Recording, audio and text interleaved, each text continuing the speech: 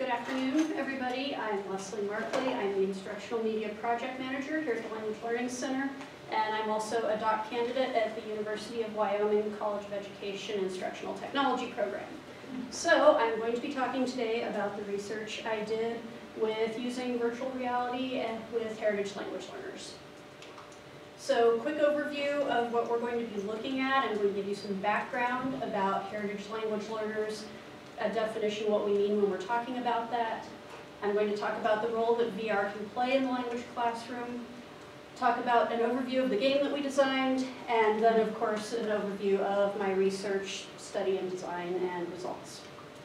So, HLL background, who are heritage language learners? Um, for the purpose of this study, I used the definition that the UNM HLL program uses, um, which, if you guys know Damian Wilson, it's his definition. So we're looking at students that have exposure or connection to the language through their community, through their family, or through their cultural heritage. We're not just excluding it to people that have a language other than English spoken in the home environment. And as you can imagine, this is not a small number. This data is from 2013, so we're already seven years out, so it's probably grown. But in 2013, we were looking at an estimated 60 million people that speak a language other than English at home. Um, so we're very fortunate that we have a heritage language program for Spanish here at UNM. Um, unfortunately, that's not the case everywhere. So in those cases, the heritage learners wind up in traditional language classrooms. And what happens in those cases, um, I've got this quote from Stephen Krashen that kind of sums it up really well, but the heritage learners can be in an unfortunate position because they're expected to do well. Because they grew up with this, they know this, they should do well. If they don't do well, then it's really damaging. And it can especially be bad because they don't respond to error correction the same way that traditional language learners do. It's because you're not just correcting, oh, you said that sentence wrong. It's an integral part of them that you're correcting. So that really can be hurtful for their learning processes. Um, expanding on the challenges, when I was doing my literature review, I ran into a lot of cases of feelings of inadequacy and disconnect, um, where people were basically saying, I grew up hearing this every day in my community, in my home. Why can I not speak it? Um, the other thing that I saw a lot of in the literature was people missing cultural cues. So for example, the learner would grow up speaking their language around their little sister, the community, and then their grandparents would come to stay with them. And that kind of leads us to the missing cultural cues leads to poor outcomes because then their parents would say, how could you be so rude to your grandmother? Why would you talk to her that way?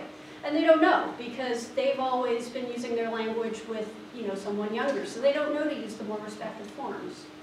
Um, finally, I think the most insidious, and I think the one that has unfortunately been popping up more probably in the last few years, is the devaluation of the heritage language and culture, which is definitely truly unfortunate. Um, the impact that these challenges can have, it starts off with the learner not practicing their heritage language, and this can move on to them not engaging with their heritage culture, because thinking even about the academic environment that we're in, you know, when we speak to each other, we're speaking in academic terms, we're talking about pedagogy and things like that. Language is very important for group inclusion. So if you're not speaking the language, then you start being excluded from that group. And once you get excluded from the group, then it just makes you want to speak even less. Why not practice with the community? Um, we're fortunate that we have a very large heritage language community for Spanish here in Albuquerque.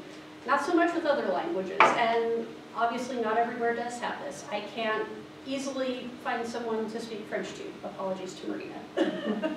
um, but access is a big issue for things like this. Um, and more than that, you know, we do have things like Talk Abroad and Skype. We could pair someone, someone up with a native speaker. But we also have fear of criticism because these are their language peers. These are people that are on the same level as them. Nobody wants to look inadequate or not proficient in front of their peers.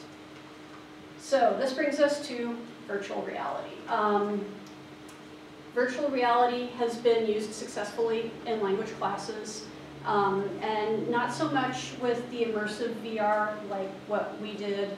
Um, this was using massively online role-playing games and also Second Life, which is pretty much dead, but it was in quite a boom for a while there. Um, it's been shown to reduce anxiety in learners. It's great because it allows for repeated practice. Um, it brings in a lot of the same benefits that game-based learning does. There's less fear of failure. They can do it as many times as they want. The game isn't going to get sick of them and say, okay, we're done today. Um, and also authentic environments, which of course nothing is ever going to be as good as real life, but virtual reality, you can get pretty close. The theoretical framework um, is based on flow theory by this guy right here, whose name I'm not even going to try to pronounce. Um, It's Hungarian. it's Hungarian, yes, and I am I will butcher it. Um, but flow theory is a state of learning that I think we all think of as being in the zone. So it's when you're hyper-focused on what you're doing, you lose track of time, you find what you're doing rewarding in and of itself. There's like that perfect balance of skill and challenge. So it's a really optimal state to achieve in learning. And if you achieve that state of flow, then it's really great for reducing anxiety in the learner. So, overview of our VR game, which presumably why everybody's here.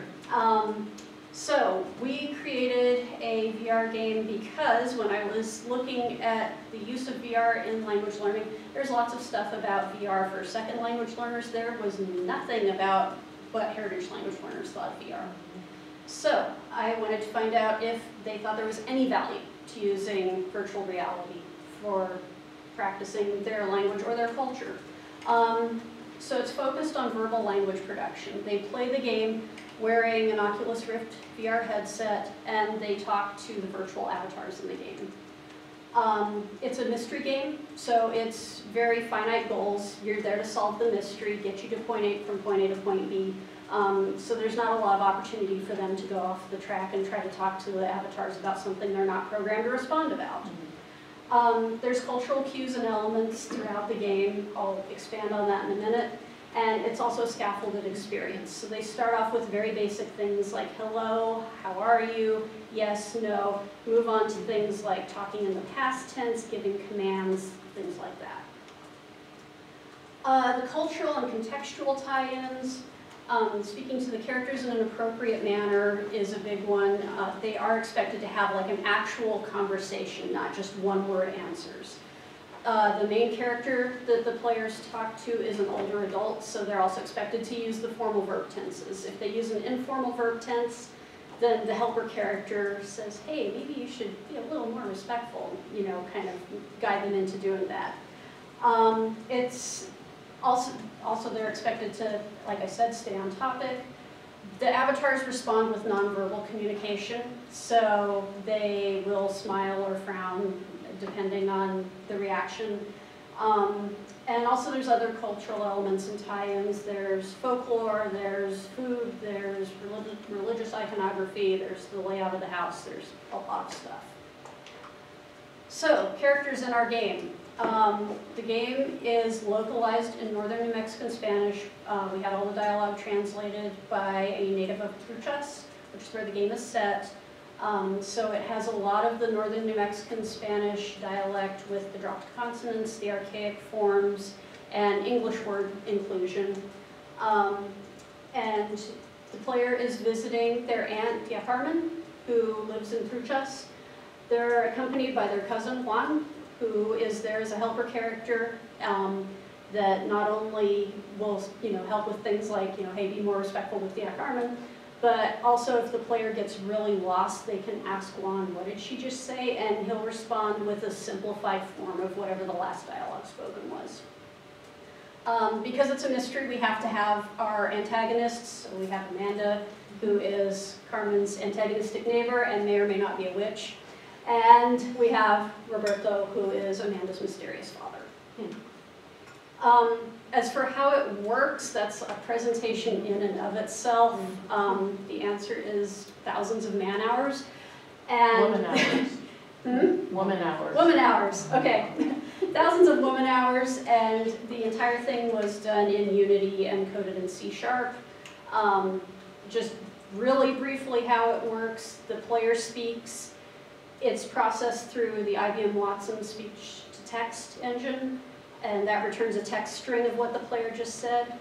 That text string gets sent to the AI brain, which is run through a program called Spirit Character Engine, um, which is a really great little program for building simple AIs and is free as of right now.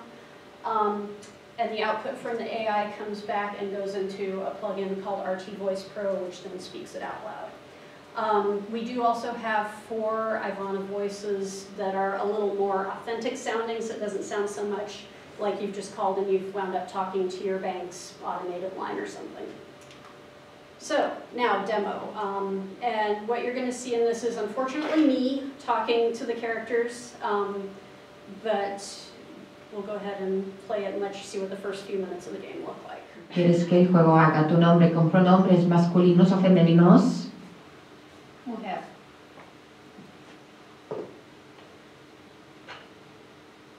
Bueno, voy a usar pronombres femeninos contigo. Empieza el juego. Ahí está mi sobrina. Hola. Hola, tía Carmen.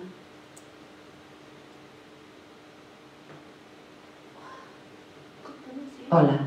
Me da mucho gusto conocerte al fin. ¿Cómo estás? Bien, ¿y tú?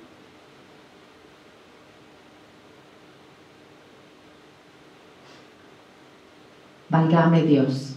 Lo que has aprendido viviendo en la ciudad. Quizá deba hablarle a tía Carmen con más respeto. Recomiendo usar usted cuando habla con ella. Ser bueno pedir perdón. También. ¿Cómo está usted?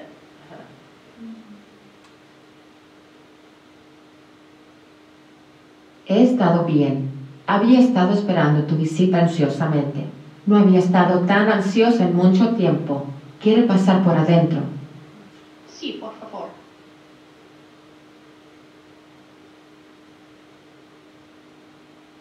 Juan, ¿por qué no llevas estas cosas al cuarto de los visitantes? Pues esta es mi casa. Espero que estés a gusto aquí. Estaré allí en un momento, mija.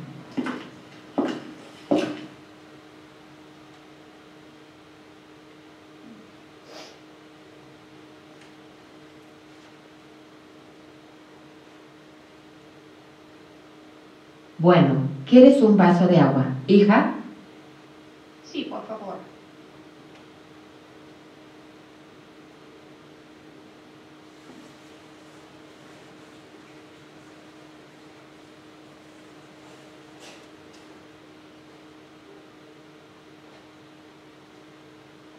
Aquí tienes.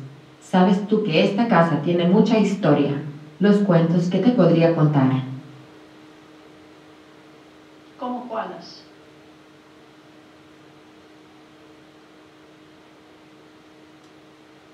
Esta casa ha sido de nosotros por mucho tiempo, desde que fue Merced. Ha cambiado bastante a lo largo de los años. Me crié en esta casa. ¿Sabías tú que mi papá me dijo que había un tesoro escondido en la casa? No.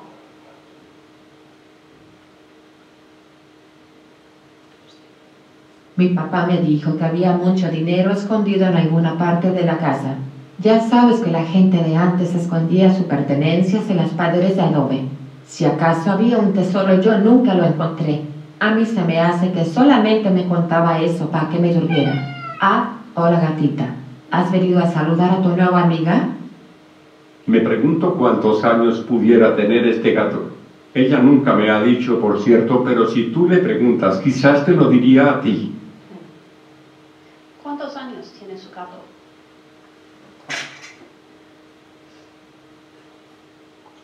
He tenido a la linda por muchos años. Ya está viejita como yo. Es una buena gata. Es bonito tener con quien platicar. Y no seas tan formal, hija. Puedes tutearme. Alabado sea. ¿Quién pudiera ser? Ojalá y no sea quien pienso que es. Oh, hola Amanda. ¿Qué se te ofrece?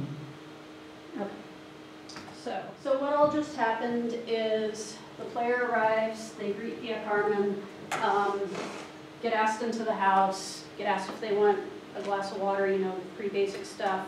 Um, Tia Carmen says, hey, by the way, did I ever tell you there's a that my dad said there's a treasure in the house, and that's kind of what starts them on the whole mystery path. Also, the cat shows up and Juan says, you know, she won't tell me how old this cat is. So that's kind of where the New Mexico folklore or magical realism starts getting looped into it too, um, kind of heavily inspired by Rudolfo Anaya because I really like him and that just kind of happened.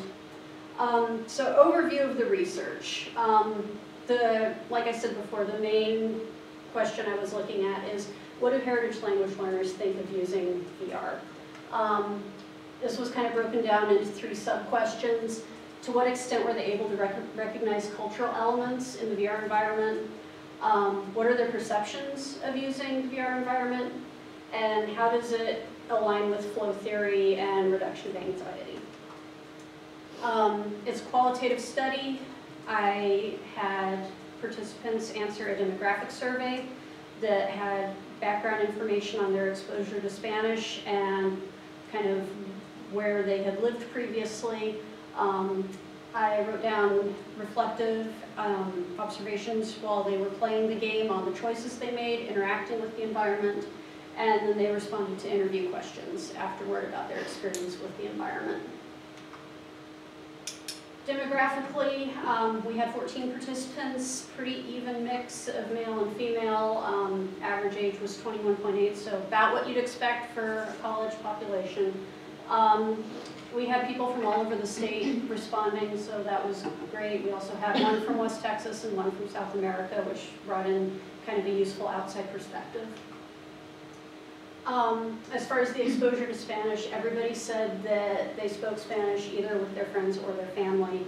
Um, and all but one participant said that they felt that they really understood the points of the conversation, so they had a pretty high confidence level going in. Some regional differences that came up going back and looking at the demographic information. Um, participants in southern New Mexico had more problems with getting the speech to text to understand them. Um, and one participant actually pinned it down and said, you know, my C's and Z's and S's all come out sounding the same, like S's at the end. So the one that really tripped up the people from the south was when they said C, the speech to text would read it as seen. And so then, you know, it would default to the, I'm sorry, I didn't understand what you just said, know. So that was a little frustrating. The other thing which we kind of didn't foresee was code switching um, because we were using the Northern New Mexico dialect. We did have English words in there. And so the participants also tried to throw in English words, Hmm. which was interesting to note. Um, it did cause some issues because you know when you call a phone line and it says para español oprima el número nueve, that's because speech to text is not at a point yet where it can switch easily. So when they threw out English words, the AI just kind of went, eh, I don't know what to do with this. Um, but everybody did try to also kind of emulate what the AI was doing for them with the English words. Um, one other regional difference, which was kind of fantastic, um, Carmen, during a tense moment in the dialogue, says, Valgame Dios, which I'm gonna, I'm I'm gonna be the first person to swear in my speaker series presentation. We had two people from southern New Mexico that were super shocked because to them that meant, oh my fucking God. And they, they were like, why is this sweet old lady swearing like this? What just happened? Um, fortunately, both of them were very, very early in the process, so I wound up asking everybody else about that and saying, was this shocking to you? And everybody else said, oh no, that's more like, oh goodness gracious me. So, um, just something to consider. If you're localizing for a very specific population, you might have some unintended side effects. Um, cultural aspects identified, they were able to identify a lot of cultural aspects. Um, pretty much everybody spoke to Tia Carmen respectfully just off the bat. And when I asked them about, about that, they said, well, she's older, she's a nice old lady, of course I'm gonna talk to her with usted. And they really humanized these AI characters, which was very interesting. Um, they spoke politely and used complete sentences for the most part. I had two uh, participants that clearly had some gaming background and they really wanted to speed run this, and so they were trying to respond with one-word answers. And after a while, they kind of fell out of that and started actually talking to the AI like it was a person. So that was also interesting to observe. um, environment objects and things like that that people identified, the layout of the house, it's a very traditional New Mexico house, uh, the food that shows up in the dinner scene, the religious iconography on the walls, which you guys saw briefly. Deb Harmon has a nice collection of her tablas hanging up. Um, the clothing, the folklore elements, which come in really heavy later in the game. Um, another interesting thing was one person identified the, so, the social norms, which I didn't intentionally put in there, and it wasn't supposed to be a cultural element, but she said, yeah, the fact that Juan's the one that's like, I'm gonna go solve this problem, and that it's the man taking the lead, that it was, that she felt that that was very appropriate, so something I didn't expect that came out of it. So, were participants able to identify cultural elements? Yes, they were. Um, how did they feel about the VR experience? Everybody really liked it. Um, the, I asked them what they thought about using VR in the language classroom, um, and they had some great ideas. The one that seemed to be the most popular is they said they wanted to do some kind of history game where they could go back and relive a historical event and talk to the characters and kind of interact with them. They thought that would be really fun. Um, also, one of the participants had a medical background. She thought it would be great for doing culturally sensitive patient interactions or for practicing delivering sensitive information to patients. So I thought that was interesting. Um, they liked the ability to make mistakes. They liked having Juan as the helper character. Most of them did not need him, but a couple of them kind of stumbled onto it and thought that that was a very nice addition. Um, they liked the flexibility of practice, that this is in theory something they could do on their own time provided they have the equipment and just practice anytime they want. I was actually really surprised by practice repeatedly because I thought this was going to be a limitation of the study because it's a mystery game. You know, once you solve the mystery, you don't want to, you know how it ends. It's not exactly fun anymore. But they said they wanted to go back and play it again. So I thought that was kind of unexpected and interesting. And everybody really appreciated that it felt localized to New Mexico. They said that it felt nice to have something that was focused on the region. Negative feedback, motion sickness. Um, VR causes motion sickness, guys, and I programmed so hard trying to make it so that it wouldn't make you motion sick, and we started with 15 participants and only 14 made it through.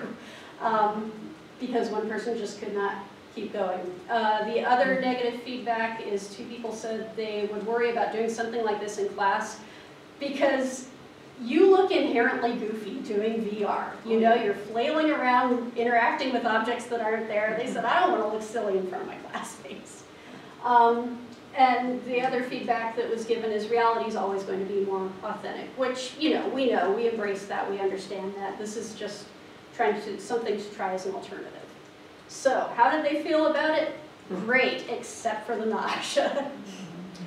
um, participants in the state of flow, um, I asked them questions to try to determine if they entered a state of flow. They said that they felt that they needed to concentrate in the environment because of the very immersive nature and because it was a conversation. They felt like they needed to actively participate. Um, they thought that the characters and the story elements themselves also made it very engaging. Um, I had one person say that he felt like he was part of the little family in the story, which was kind of great. Um, related to that and level of detail, I had one participant say that she was distracted by the level of detail because she missed what Tia Carmen said because she noticed the coffee table had scratches on it and she was like, I could tell she's had this furniture forever. And she was so busy staring at the coffee table, she completely missed all the dialogue about the treasure. Um, they liked the clarity of goals. The mystery game, you know, really provided tangible goals. They knew what they were doing, they knew what they were in there for. Um, a couple of them reported that they lost track of time. Um, Generally, the game takes anywhere between 30 minutes and an hour to play, depending on how much you want to interact with the characters. And a couple of them were really surprised how long they were actually in there and playing. Um, and most of them felt that it was a rewarding experience. Mm -hmm. So, did they enter a state of flow? Probably. We're going to go with probably. Strong yes. Um, so, in conclusion, it looks like in this very limited scenario that VR can have positive applications for heritage language learners. um, both for recognizing cultural elements and also language elements. So, thank you. Questions?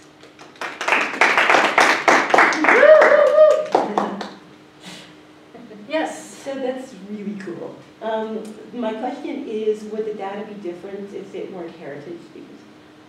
You know, I, I think that it might, I think there might be some similarities, um, especially regarding flow, because a lot of it was that VR was a novel experience. I think that the differences might come more from whether they have prior experience with games and virtual reality, um, which I really wish I'd asked questions about in retrospect. Um, I would be really interested to see what second language learners did with this, um, but I think that, I think that there might be some similarities, but especially on cultural elements, depending on what level they're at, there might be some pretty striking differences there. Yeah. Can you do this for Russian next? I'm, I'm not kidding, actually. I'm Can not. we get funding, is the next question. Well, that is the, always, but, um, uh, so, several things, I mean, this is very rich, uh, presentation, so, I mean, I won't have enough time to. But, so, there is a, um, a VR game designed for Russian, uh, at University of Maryland. Okay, uh, for L2 learners, not for heritage speakers, but advanced level, obviously. right. Uh, and the, that game is um, similar, it's not a mystery game, but again, the goals are very tangible. Uh, you are on a pirate ship, and the pirates that captured you are only Russian speaking. They don't Oh, understand okay. English, and they captured you, and you have to free yourself, and you have to go tell your friends, whatever. The students had so much fun with this one that they wanted more. So the, the tangibility, I don't know if it's a word in English, of the goal uh, at the end is extremely important because otherwise Mhm. we can interact for fun, but like, what's the point, right? Right. So my, my actually first question was, so how are they looking at the game? Are they looking, because I've, I've also been inside VRs. Mhm. Uh, Are they looking on, on their phone with the glasses like that? That's why they're moving around and they get sick? Or they're looking at a computer with, with 3D glasses? No, so they've, they've got the headset on and it's, you know. Okay, so they're But it's basically, a different Your- kind of headset. than- Diff- Yeah, it's not using. not the one that I use, Yeah. right, But it's, right. but it's similar and that's how it works, yeah. Yeah, so- and they can also play it without the headset, um, because the one that got motion sick really wanted to just finish the game to find out how it ended, so we just unplugged the headset and you can look around using the mouse and it's just on the But it's not computer gonna be screen. 3D. Uh, not, a- no, it's not 3D, it Yeah. looks like a pretty good computer game though, so. Yeah. I You see, know, halfway okay, there. okay. Yeah, because, so, so what I was, um, so I, I- played, um, it wasn't a game, it was actually virtual reality simulation, uh, by, uh, Encyclopedia Britannica, it was pretty good. So what I noticed here, I don't know whether you have that option, is to make it more interactive, so I was able to open things with my eyes, like the, the eye gaze. Mhm. So, and I, I saw that, that you have doors and stuff, but could students control the reality? Could they open things with their mm-hmm. eyes, or They, it's more passive you know, it's, reception? of- It started out being very active and it became more passive just because I was the only one working on this. Oh. And so I had to start stripping things out because I was looking at, you know, I want to defend my dissertation at some point in the near No, future. You have your goal too, So- right? So I was kind of like, okay, well, you know, sure, I'd love it if they could pick up the objects in the house and look at it, but that was one of the first things to go just because it does require additional programming and. If, and if you were to control, right, yeah, right, yeah, okay. so I, I wound up taking control away as much as I could and just having it be the language production. Um, because also the other thing was used, they used to be able to walk around the house and people wanted to go explore the house and so they'd wander off. I know, that's why, that's why I close all the doors in my house, I sit on the floor, and I, and I just rotate them. Yeah, yeah, that's like, So you don't wind up and, outside. and actually somewhat related to that, the fade to black for the walking I wound up having to do because I had it where it was just moving them to sit down. And that made people so sick, including me, I couldn't even Really? test Oh, it, so that's how we got the fade to black. But, Um, so there were design choices behind a lot of this. Some of it was limitations, some of it was just me not having enough time to program additional stuff, and some of it was when I was playtesting, discovering that things I thought were a great idea were actually pretty terrible. That speech to text was pretty good. I mean, I was watching, uh, there was only one mishap. You said something, you said bueno, and then it, It's something else yeah. appeared Yeah. on the screen. So my question is, so all those captions uh, that appear, I mean, after you talk, can, after the end of the game, because, you know, as language teachers, we would like to analyze Mhm. post factum what, you know, what was difficult, what not, the grammar. Uh, Is there a way, after the game is done, for the students and the instructor to see this, this whole interaction written down and just go over it? Written down, yes, I've got it dumping everything to a text log so So the that. transcript of of the Yeah, whole. so it's a transcript of what gets sent to the AI and how the AI decides on the response. So it's a little, you know, kind of heavy on, on over-information maybe, but you can still see what was said and what the responses were.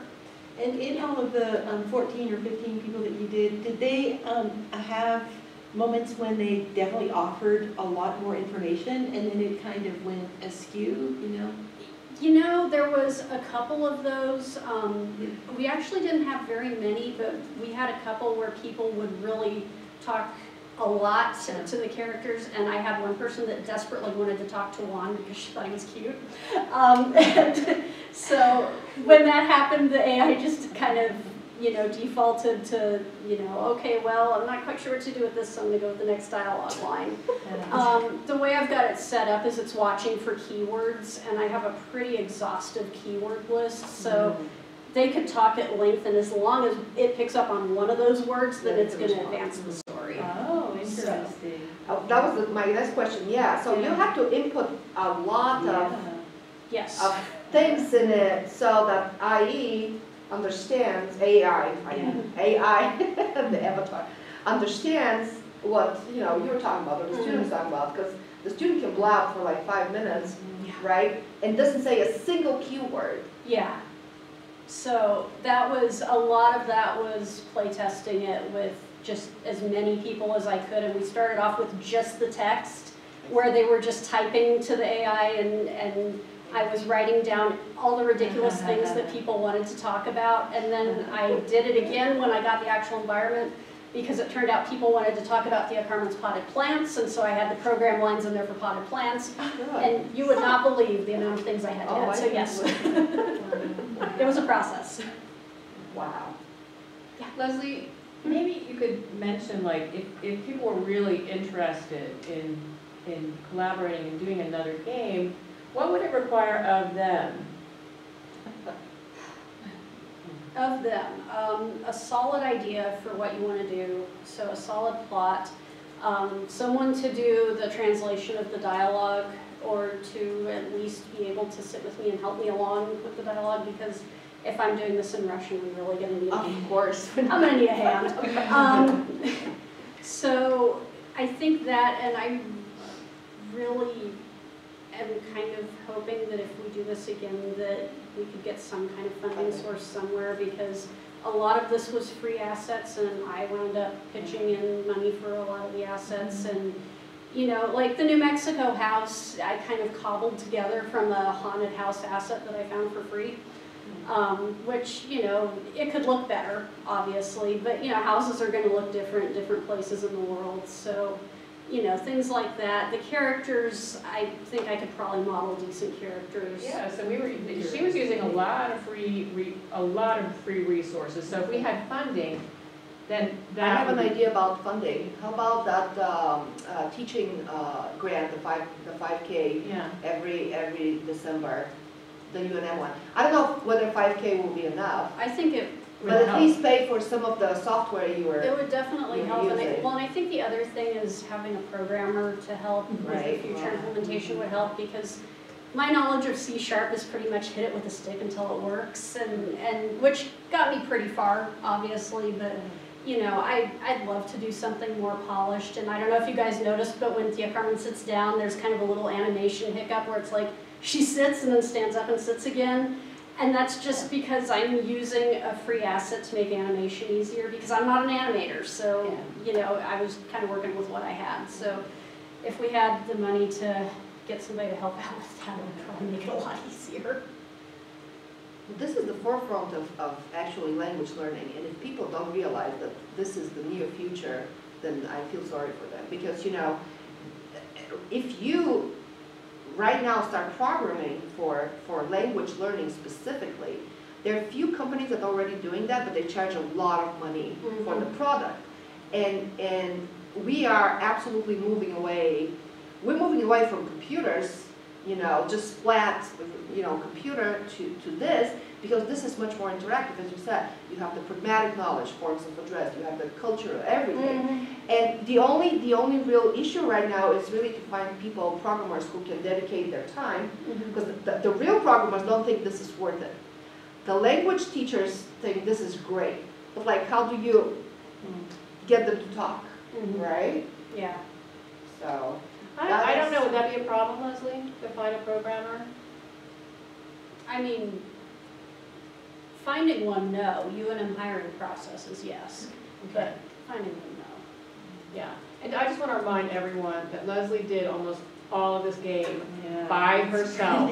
that's our It is amazing. It's amazing the amount of skill and knowledge that went into this, that she had to learn a lot of it as she was doing it. And No one, I don't know anyone else who could have done this, honestly, I'm so impressed. It was an impressed. experience. So, Just write your dissertation. That's Yeah. determination. that's the thing. Finish the dissertation, like, as long as I do that. Yeah. It's like, what is the teacher's role? What is the teacher's role? I, you know, I didn't even get as far as going with what is the teacher's role. I just wanted to see, do they like this? But you know, that's something that you can develop later. Yeah, this is, Like, like we do with, you know, Talk Abroad and trying to come up with best practices and stuff like that. So then how do you prepare them? How do you, how do you help them reflect on it and learn from it? Mhm. There's, in the game, there's nothing, there's no rule. yeah, and I, I really kind of see this more as an out-of-class activity, just because of the feedback I got about not wanting to look goofy in front of your classmates. And nobody wants somebody throwing up in a classroom trash can, so, you know, I'm kind of feeling like doing it outside of the class. Did people throw up? No, but I had somebody laying on the floor in my office for a little bit, which was a little touch and go. Yeah. I have a question about the speech to text aspect. So Yeah. During this game, um, are, is everything transcribed then as they're speaking? Or- Yeah. Yeah, and I, I took that out for a while. I had it originally set up that way so I could debug issues as they mm-hmm. came up. And when I started playtesting, people really wanted to be able to see what, what it took them down as saying, because uh-huh. if it responded with something out of left field, they would say, well, where did that come from? Mm-hmm. So it, it's kind of helpful. Um, but one thing with the speech to text, because it's still new, if you're doing anything with any kind of dialect, it can be hard, because mm-hmm. right now IBM has two types of Spanish, Mexican and Catalan, and that's it. So if you speak anything else, good luck. Um, but it's, and they're still expanding and adding languages, so it's, and I did see they just added Arabic. So, um, but it's still very much a growing technology, and I think that was really kind of a big limitation because just frustration on the part of, why isn't she understanding me, those poor people from southern New Mexico that, you know, were like, see, see, I said see. You know, So then, then when the kid avatar spoke, was that also on the screen or no? Yeah. yeah, that was, so the way it's set up is what they say is at the top and then what the avatar says is at the bottom. Okay. Could, could they do it in standard Arabic? I mean, would that be kind of weird? That's a conversation for a whole other I time. know, yeah. I'm- okay, yeah. So where's the microphone that, that, that that catches the? It's wired into the headset, so they don't have something hanging out in front of them, they just, and if they're doing it without the headset, then I just give them the Skype headset.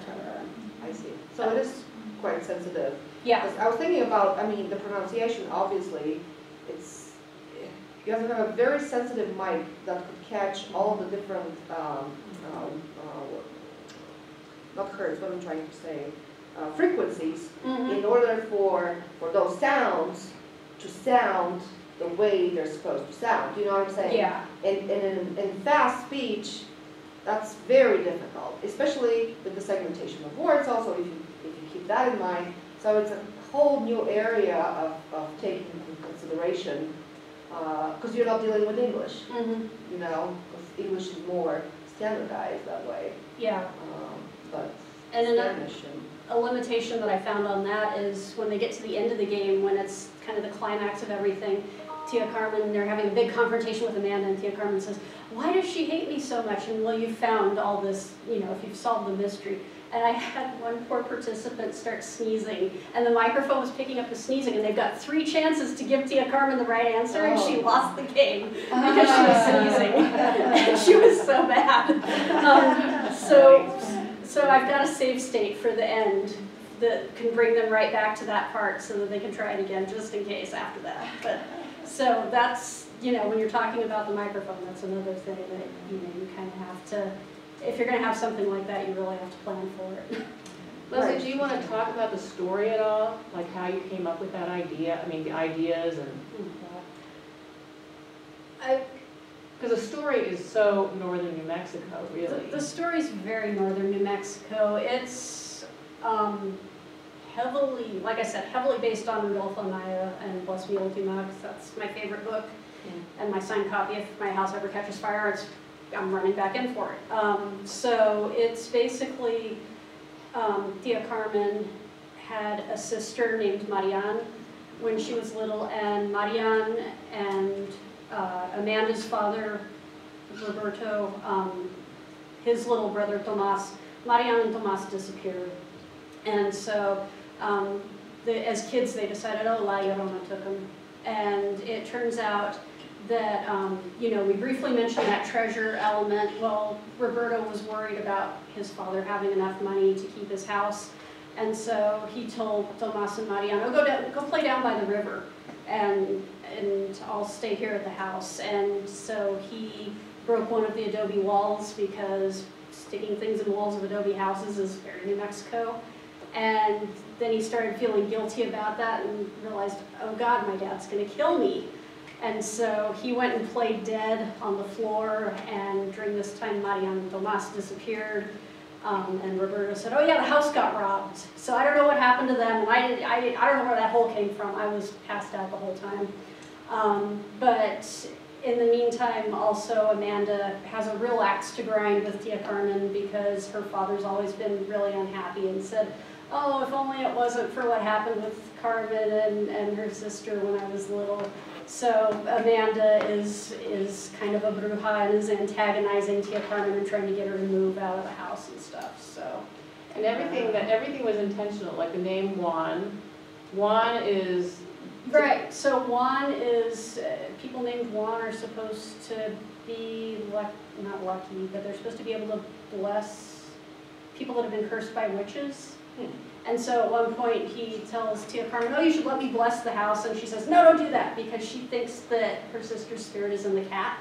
And so she's afraid that you're gonna accidentally drive her sister away, so. Um, but then there's a bunch of other little nods to, to things like, um, like putting nails, putting little crosses made out of nails on the windows to keep the witches out.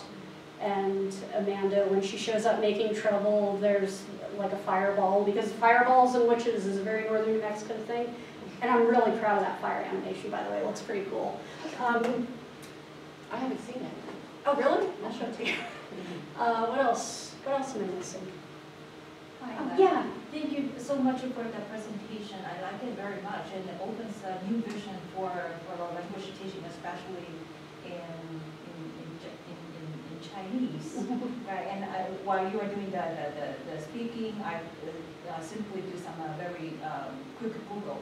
Yeah, we do have some uh, sources as for, for Chinese teaching with the VR technology.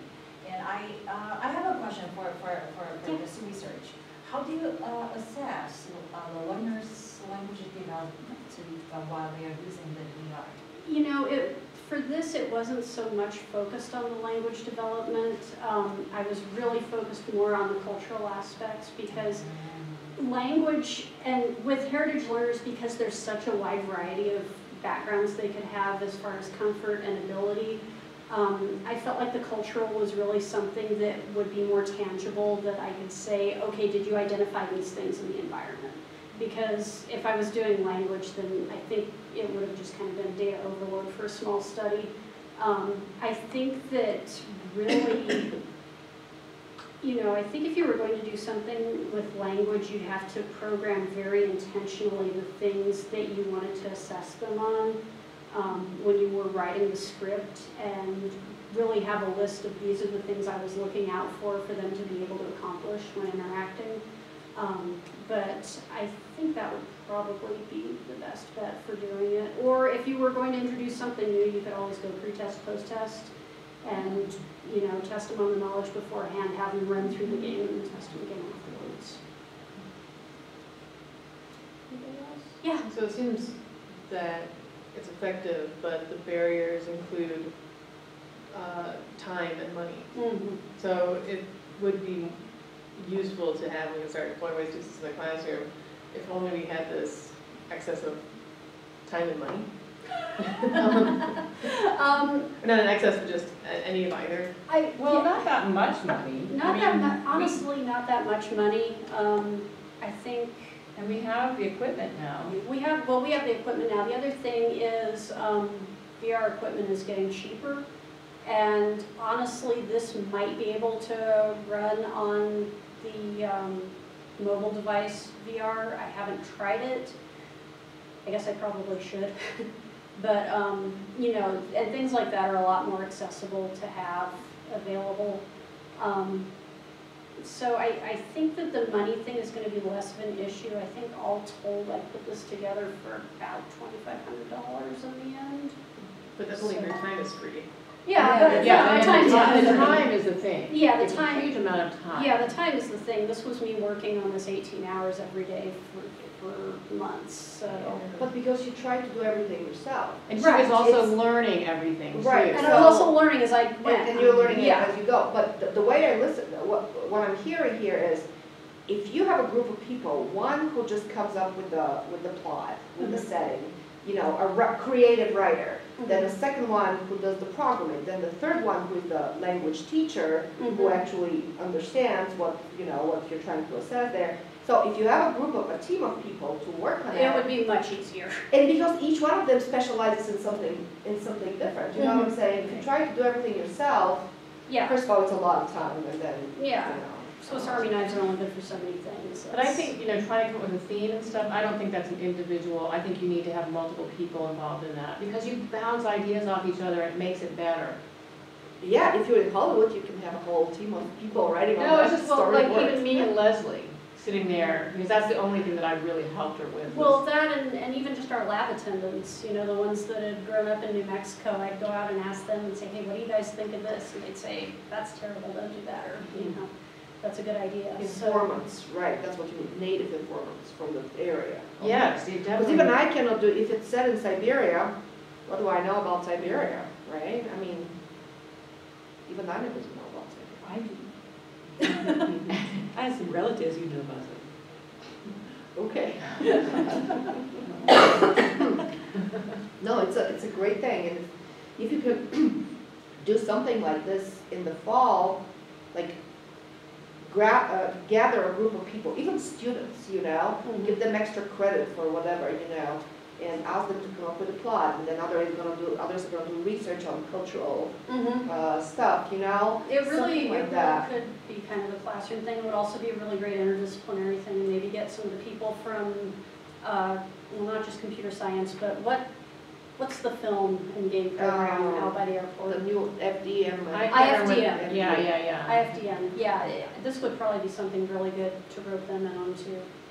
Because I think, I think that's the key. I think having a team that's actually knowledgeable and not learning from YouTube videos and go is probably good. Any other questions? Thank you so much for coming. Thank you, Leslie.